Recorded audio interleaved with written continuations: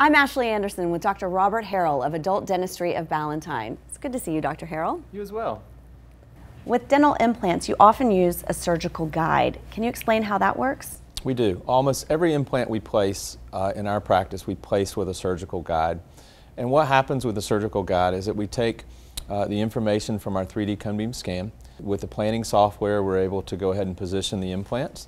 We can account for position, angulation, and depth. And then that information from the planning software can, can be transferred into the surgical guide. Surgical guides are printed and they contain a small metal sleeve that guides the drill during placement of the implant.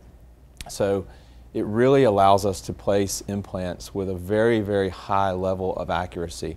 Everything that we can see in our scan, we can transfer uh, with, with very high precision into the mouth. So the, the patients really have that comfort knowing that the surgery is going to be performed and the implant will be exactly where it needs to be to be properly restored. Is it a little bit like a very high-tech stencil? You could compare it to a high-tech stencil.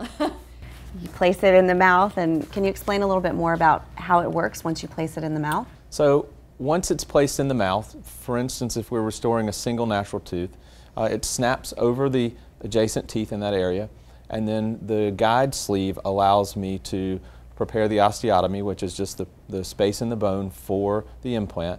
And typically these procedures are really fast. So for a single implant, when we do a guided procedure, uh, the implant is typically placed in less than 10 minutes.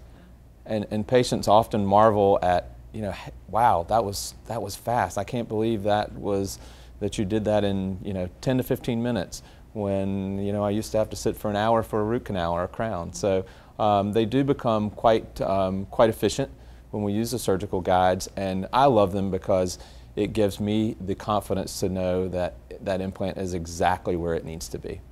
And not every practice uses these guides. It really sets you all apart. It does. Um, surgical guides have been around for many years, but we use them heavily. We place more than 95% of the implants in our office with surgical guides. And it really just gives us the the confidence to know that the implant will be exactly where it needs to be, and it gives the patient that confidence as well, so that they know that once the implant's done, it's a, it's a good investment that uh, they have a result that is, that is accurate and exactly what they were expecting. Dr. Harrell, thanks for your time today. We've learned a lot of helpful information today, and I hope you at home learned something as well.